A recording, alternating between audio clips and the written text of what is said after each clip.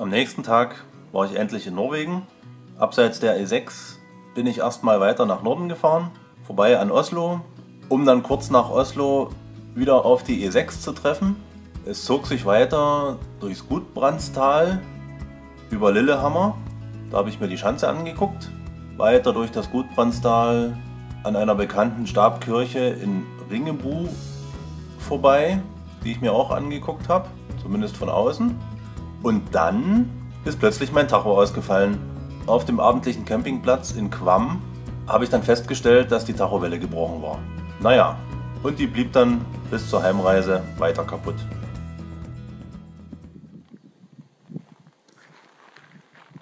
Es ist kurz nach sieben und ich bin hier der Erste, der wach ist auf dem Campingplatz.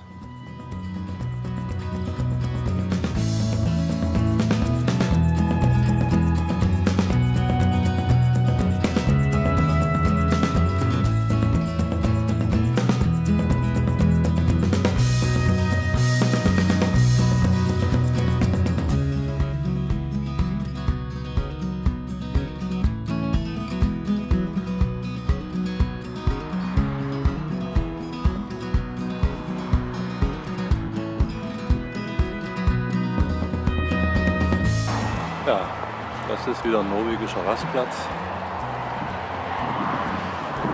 Mitten an der Straße. Sehr geil.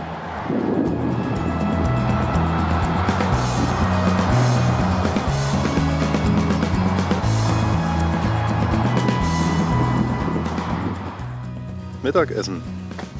Schön am See. Weit und breit niemand zu sehen.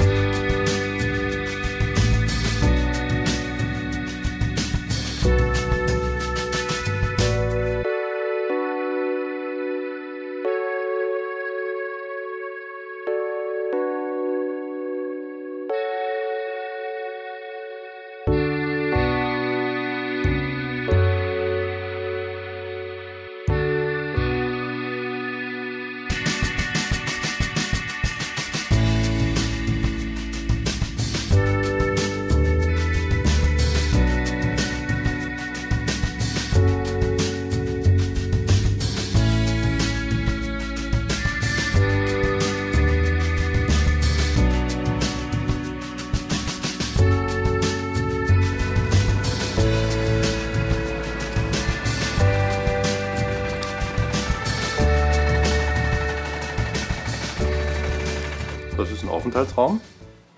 Da hinten ist mein Zelt, die anderen Zelte. Hier werde ich mich heute Abend aufhalten und abstellen. Da hinten steht noch ein Fernseher. Das Gepäck von den Wanderern. Ja. Ich mache mir jetzt lecker was zu essen, auch wenn die Tachowelle nicht mehr geht. So, die Wurst. Brokkoli. Da rein. So, jetzt wird geschlemmt. Bei den anderen ist natürlich auch schon gedeckt.